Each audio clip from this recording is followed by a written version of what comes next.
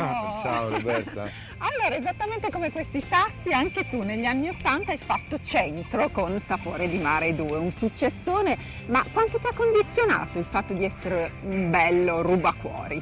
Mi ha fatto fare Sapore di Mare numero 2, nel senso che mi scelsero e mi chiamarono proprio perché eh, con il mio aspetto che piaceva alle fans dei fotoromanzi che facevo in quegli anni, hanno detto questo ragazzo ha un'enorme popolarità per la sua bellezza del tempo, spero anche un po' adesso. Che è rimasta. Ok, Confermo. e che ho fatto appunto Sapore di Mare, il mio secondo film. Poi dal cinema sei passato alle fiction, attualmente ti stai preparando in teatro, è il tuo nuovo amore. Mamma mia, ancora non abbiamo debuttato, eh, sarà a dicembre, una commedia francese di Florian Zeller, un'ora di tranquillità con Massimo Ghini, Galatea Ranzi, Giallo Lionello, Claudio Bigagli. Sono molto emozionato perché è la prima volta che faccio teatro, è una nuova avventura. Per fortuna, l'emozione non deve mancare. Mai. eh? E se ci fosse la moviola, tu torneresti indietro nel tempo e faresti nuovamente l'attore? Sì, perché poi mi ha permesso anche di fare tante altre cose, l'agricoltore, il costruttore, l'imprenditore, ultimamente persino lo scrittore. Caspita. Uomo eclettico direi. Complimenti. Grazie. Ma quale sarà stato il suo primo lavoro? E dalle risposte di Massimo Ciavarra a Roberta Ferrari si capisce che nel lavoro gli piace cambiare pelle. Benvenuto Massimo. Ciao, buongiorno a tutti. Senti, oggi a quale attività ti dedichi mh, insomma, mh, con passione oltre naturalmente mestiere a, quelle- a quella di attore? Sì, vabbè, in questo momento non ho tempo per far nulla perché siamo in eh, pieno finale di prove per questo spettacolo teatrale. Debutteremo il Quando? 16 dicembre ad Udine, quello che dicevamo nel servizio. Ma in questo momento diciamo che in ogni caso la mia attività principale al di fuori del mestiere dell'attore è un po' basata sull'isola di Lampedusa, che è un'isola che io adoro, amo e ogni anno eh, organizzo una rassegna cinematografica di sette giorni per portare il cinema a Lampedusa che, è, che è priva di schermo cinematografico da più di dieci anni. Questo mi occupa durante l'anno e poi faccio anche un po' da testimonial per l'isola per raccontare le bellezze, le verità e per attrarre più turismo possibile. Ecco, a proposito di isola, no? io mi ricollego all'isola dei famosi, a Pechino Ah. Express, che tu hai partecipato diciamo, ad entrambi i, I programmi. i- i programmi, reality, però uno come te che conosciamo essere molto schivo di carattere, no? che non ama mettersi in mostra, come mai poi hai fatto questa scelta di partecipare appunto a questi reality? mm, perché a me piacciono le avventure molto. E, mm, però non è che a me non piace mettermi in mostra, non piace come dire interpretare, dei- cioè non è non piace, cioè l'ho sempre sempre fatto. come carattere. esattamente. Però quando mi hanno offerto queste cose così eh, che nella vita normale so- è impossibile poterle fare perché ma quando mai stai senza mangiare su un'isola oppure senza una lira attraversando Vietnam, Laos e Cambogia in autostop ma non percorsi turistici, percorsi eh, veramente alternativi Mm, non sarebbe mai stato possibile nella vita. E di conseguenza l'ho accettato volentieri e devo dire che specialmente Pechino Express è stato, anche perché fatta con mio figlio, una delle, delle- delle avventure, delle cose più belle della mia vita. Come dicevo prima, ti piace cambiare pelle, questa Ah, è la sì, dimostrazione. assolutamente sì. Però mh, questo futuro di attore, diciamo, era già nel tuo destino prima anche che tu lo, lo- lo sapessi, te ne, accorge- te ne accorgessi, perché sbaglio o il tuo primo lavoro comunque aveva già a che fare Eh con il beh, set? Sì, beh, il- assolutamente, perché comunque è sempre una forma, possiamo dire il lavoro, sì, ne abbiamo parlato lì durante il servizio, fotoromanzi, è Certo, una forma di dobbiamo spettacolo. dirlo perché vogliamo saperlo, Eh, scoprire il tuo è- primo lavoro. È una forma di spettacolo e poi diciamo che grazie al fotoromanzo che io poi ho fatto l'attore perché eh, i primi film che, è stato, eh, che sono stati ehm, Vai alla grande di Salvatore Samperi e Sapore di mare numero 2 di Bruno Cortini, per quale motivo mi hanno chiamato e scelto come protagonista?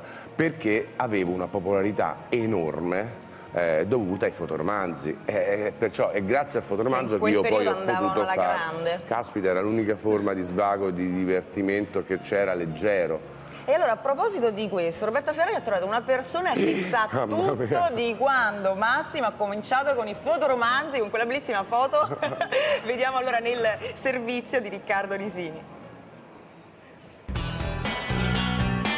E quante scene d'amore, oddio a Dio, abbiamo girato qui per i fotoromanzi. Quando c'era Massimo dovevamo tenere una folla di ragazzine lontano perché per un autografo facevano sei a scuola. Si sognava con poco e in bianco e nero.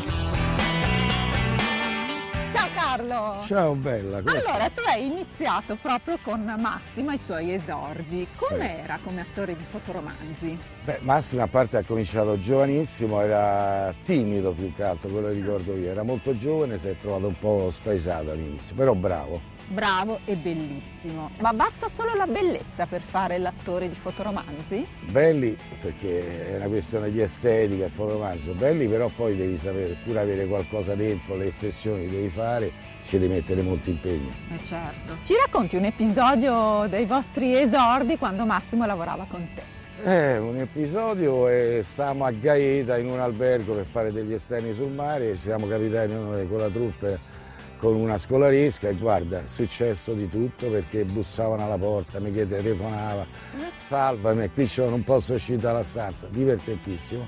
Insomma. E poi era timido tra l'altro. Timido e rubacuori. Certo, certo. Il servizio era di Andrea Rispoli. Beh, insomma, Grande Carlo, ciao Carlo. Eh, Saluto anche Attilio Malnati che il tuo, sono i primo, il tuo primo regista, ma la tua interpretazione da fotoromanzo che ti è piaciuta di più? Ah, ricordo una serie, ehm, io mi chiamavo Silvestro e facevo l'agente, l'investigatore praticamente, una serie che è andata avanti per moltissimo tempo anche perché poi la mia collaboratrice eh, era ehm, Katiuscia, allora tu dici chi è Katiuscia? Ai tempi era un mito dei fotoromanzi Katiuscia e Paola Pitti e mi ricordo che Grand Hotel, eh, con una cosa che mh, diede molto scalpore per la cifra, eh, riuscì a togliere alla lancio Katiuscia, che perché se li contendevano gli attori, capisci? Sai quante volte ho avuto delle offerte da lancio io ai tempi? E facevamo questa serie dove io facevo l'investigatore è stata, e andò benissimo, ecco, questo è un ricordo che ho. Ma parliamo di preistoria comunque. Ma che caspita. storia, dai, di qualche anno fa, qualche due anno tre. fa, sì, Ma sì, vediamo sì. come saresti invece oggi alle prese con una scena da fotoromanzo. Massimo, vediamo se sei ancora bravo a fare le espressioni da fotoromanzo, eh? Oddio, oddio. Immaginiamo che tu stia aspettando la tua donna a un appuntamento ma non arriva, ok, non ci sarà movimento ovviamente essendo una foto. giustamente. Eh, l'aspetto con gioia oppure preoccupato che forse non arriverà? Entrambe le cose. Ok. Preoccupato. Perfetto, devo dire, bravo, bravo. Chissà che dirà il nostro regista. Senti, e se dovessi fare lo script nel fumetto che cosa scriveresti? Ora che stavo così. Sta arrivando, sono certo che arriva. Eccola. È lei, è lei. Adesso l'abbraccerò forte. Bravissimo, bravissimo. E passiamo a un altro amore, eh? non l'amore della propria donna, ma quello del proprio figlio. Tu hai un figlio bellissimo di Paolo, 24, 24 anni, anni. Paolo. Stai aspettando che arrivi per trascorrere con lui una splendida domenica. Eh, hai gli occhi che sorridono. Sì, sì, sì. Eh? Paolo è veramente il grande amore della mia vita. Eh, si vede. Ma sbaglio, Fantastico. sbaglio o, ma ero sempre uguale? Ma no, erano espressioni sempre tutte diverse. Una mimica facciale, no, tu non te ne accorgi. Vabbè, Ok, c'erano delle. vabbè. Ma sì, Ok. ma oggi guardando, guardando indietro, puoi dire che quel tuo primo lavoro è stato utile per la tua formazione, quindi per la tua carriera? No, come dicevo prima è stato utile perché mi ha dato la popolarità che ha, per- che ha fatto sì che poi mi scegliessero e mi chiedessero di interpretare i miei primi film.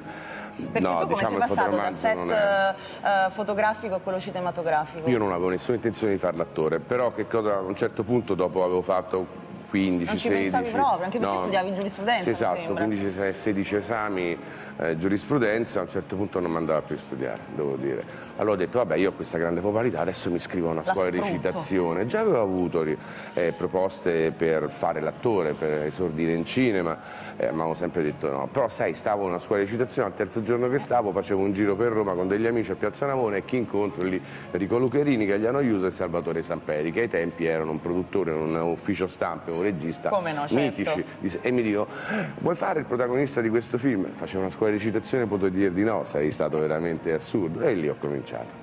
E poi invece come si è inserita nella tua vita l'attività di agricoltore? Perché anche Attività di hai fatto. agricoltore che in quei tempi è stata abbinata a... mm, ero anche imprenditore, cioè nel senso eh, che mm, prendevo delle case in, eh, nel Lazio o in Umbria e le, le riattavo, le, le rimodernavo, le ristrutturavo e perché c'è stato un momento che volevo cambiare attività, complice anche un fatto che quel tipo- la- quella tipologia di film che io facevo, Sapori Mare, Giochi d'estate, Chewing, eccetera, a un certo punto c'è stato un cambio di, di- di tipologia di film in Italia e perciò quei miei film venivano visti un po' come tipo commedie di serie B, salvo poi nel corso degli anni rivalutarli e anche molto.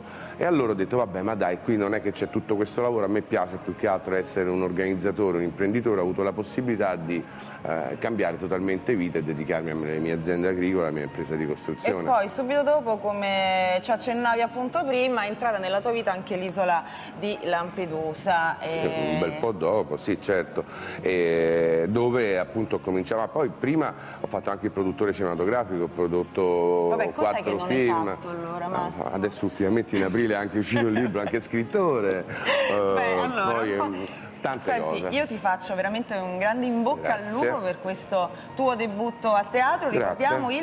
il Il 16 dicembre a Udine, Il 16 eh, dicembre un'ora di tranquillità con Massimo Ghini. Perfetto, allora grazie, grazie a Massimo Grazie a. Ciavarro, il cui motto è la forza di, Di cambiare. cambiare.